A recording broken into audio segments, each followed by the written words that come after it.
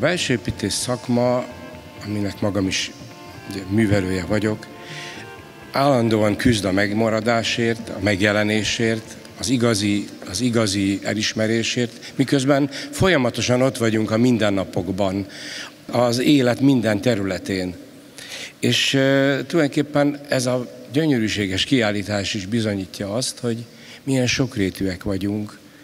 Ez egy különleges szakma. Én szerintem egy csodálatos élmény művelni, rajzolni, építeni, és bemenni abba a térbe, ami a mi alkotásunk. Ez egy csodálatos folyamat, és ez a kiállítás ezt a folyamatot nagyon méltón tükrözi.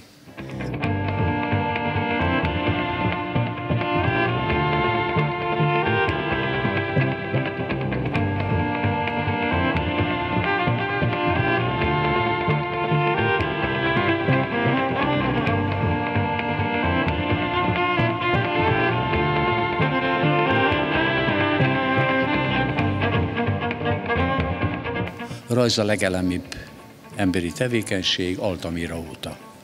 Tehát a rajz valahol az önkifejezésnek és a világ megismerésének és a magunk belehelyezésének a világba az abszolút etalonja. A modern művészet hihetetlen mennyiségű blöff termel, nem kell tudni rajzolni, nem kell tudni festeni, nem kell tudni mintázni nagyon sok esetben.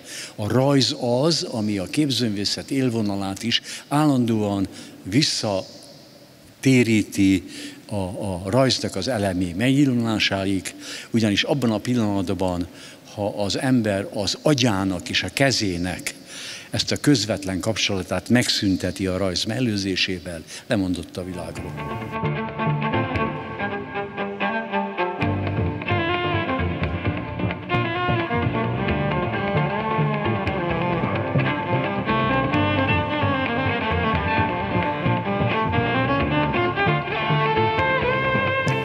Mi a rajznak a tulajdonsága minden másfajta művészi megnyilvánuláshoz képest?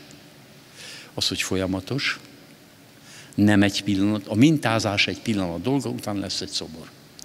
A festés egy pillanat, még akkor is, hogy három hétig festik, vagy öt hónapig, az is egy pillanat dolga, mert megszületik a mű és kész. A rajzolás pedig majdnem születéstől a halálig egy állandó belső lelki kényszer annak, aki szeret rajzolni, mert elképesztő öröm. Nem ismerek olyan grafikai ágat Magyarországon, ahol a rajzokba és a grafikákba úgy van benne az ember, hogy antropológiailag nincs benne. Az a léptékvilág, a szőnyegnek, a butornak, a mennyezetnek, a világításnak, a, a, a boltozatoknak, az anyagválasztásoknak, a függőnek és csomó mindennek, és a funkcionális elosztásnak a, a, a javaslatai, az előképei a végleges állapothoz képest úgy feltételezik az embert, hogy én néha, ha sokáig nézem, meg az az érzésem, hogy mozognak is benne. Közben egyetlen egy vonal nem utal arra, hogy emberi test van a rajzokon. Elképesztő. Ez semmilyen, semmilyen grafikai természetű dologra nem jellemző. A belsépítészet jelenlétének a fontossága abban van, hogy az építészeti tervezés alapkérdése az, hogy minket bele, a belsépítészet alapkérdése pedig az, hogy magunk köré.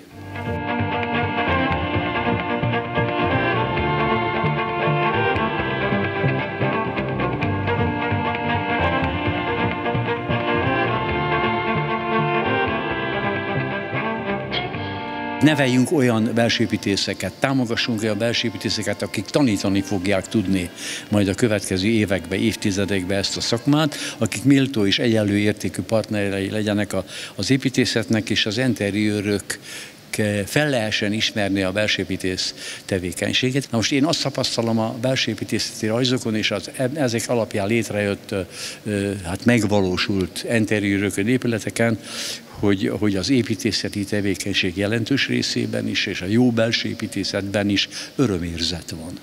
Történt valami, valamit a lehetetlenből és a soha nem voltból a belső építész is képes volt előhozni.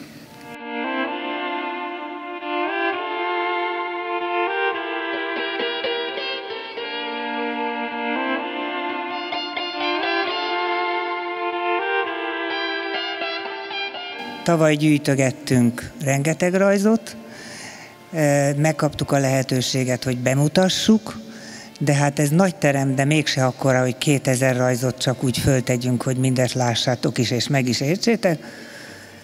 Ezért válogattunk, és volt, aki nagyon sokat adott be, volt, aki csak keveset, de körülbelül egyformát tettünk ki.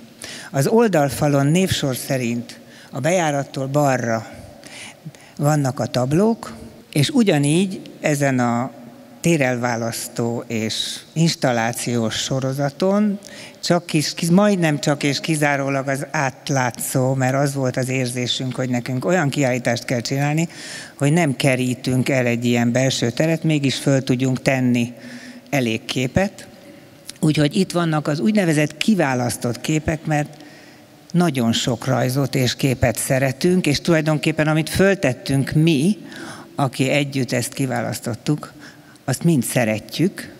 Ami a rajzokat illeti, hát minden egyes rajz más stádiumot mutat, azon el lehet töprengeni. Mi sokat néztük, szerintem egyszeri a kevés, úgyhogy gyertek vissza és nézegessétek.